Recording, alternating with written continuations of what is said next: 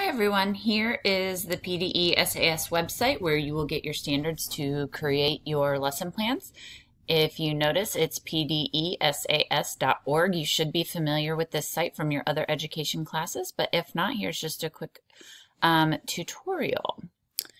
So we want to go to standards,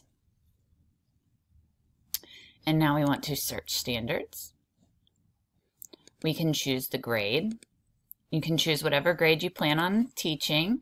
I recommend um, if you're planning on teaching elementary, you choose um, some various grades throughout the course just so you familiarize yourself with the um, with the different standards for the different grade levels and how they change. Same with middle school and same with high school. So we select that. All right, so you'll see they pop up for every subject area. So we want to narrow it down to math. And we save and close. All right, so now we have our math standards. Here's your standard, CC213B1. And the standard is apply place value understanding and properties of operations to perform multi-digit arithmetic. So what you are going to do is on your lesson plan, you're going to include this standard number and write out the standard uh, description. And then if you are looking for ideas, you can go to materials and resources. And then they'll have a bunch of things over here with um, some different, this is a web-based resource, but then you'll also see some unit plans in which you could um, pull out some different lesson plans from there. But I don't want you to copy these lesson plans. I want you to change, look at them for ideas and then change them to make them your own and use the Chatham lesson plan format to type it, excuse me, to type in all of the information uh, for your lesson plan. But then you would just click on these if you find one you like. And then you even have like essential questions here and then related materials.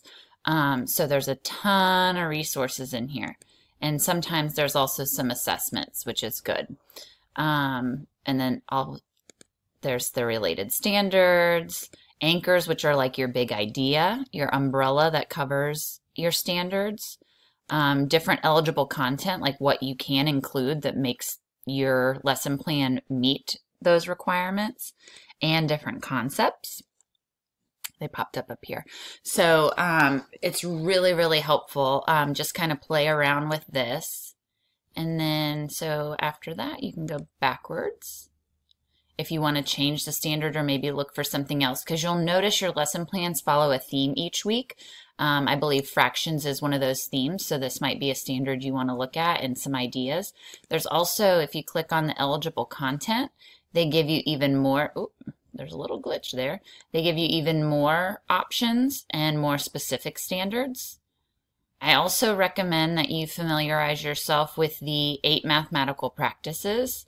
So um, you can just Google that. I did um, include a link to this resource, uh, to some resources for this in your Moodle class.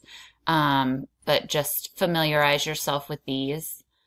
Um, so make sense of problems and persevere in solving them, reason extra abstractly and quantitatively, and they go on. There's eight of them, and they're great for just keeping your lesson plans um, really focused and making sure you're including important elements of mathematics instruction.